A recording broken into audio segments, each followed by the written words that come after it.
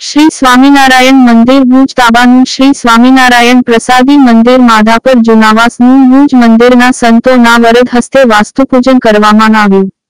મહંત સ્વામી પુરાણી સ્વામી ધર્મનંદનદાસજી, પાર્ષદ જાદવજી ભગત, ઉપમહંત ભગવતજીવનદાસજી સ્વામી વડીલ સંત હરિબળદાસજી તેમજ ભુજ મંદિરના અન્ય સંતોની ઉપસ્થિતિમાં અને આચાર્ય સ્થાને મહેશ મહારાજ અને તેમની સાથેના ભૂદેવોએ વાસ્તુપૂજનમાં યજ્ઞ કરાવીને વડીલ સંતોના વરદ હસ્તે નાળિયેર હોમવામાં આવ્યું હતું.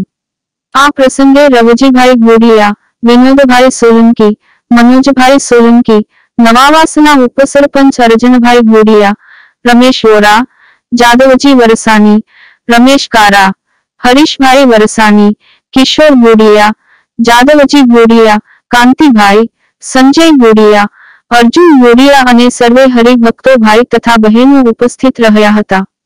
ઉપસ્થિત સંતોએ આ પ્રસંગે આશીર્વાદ પાઠવ્યા હતા.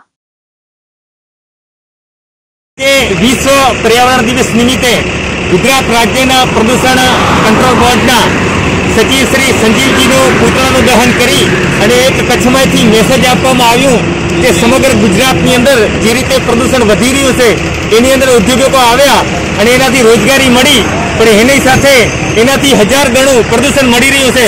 અને એક પણ ફંડેસની મંજૂરી હોય અને આઠ આઠ લગાવી અને ગેરરીતિપૂર્વક પ્રદૂષણો ફેલાવી રહ્યા છે. ત્યારે જીપીસીના ચેરમેન ધોળ નિંદ્રામાં હોતા, આજે પૂતળાનું દહન કરી અને કચ્છ જિલ્લાના તાલુકાના વિરોધ પ્રદર્શન કરવામાં આવ્યું. જો સરકાર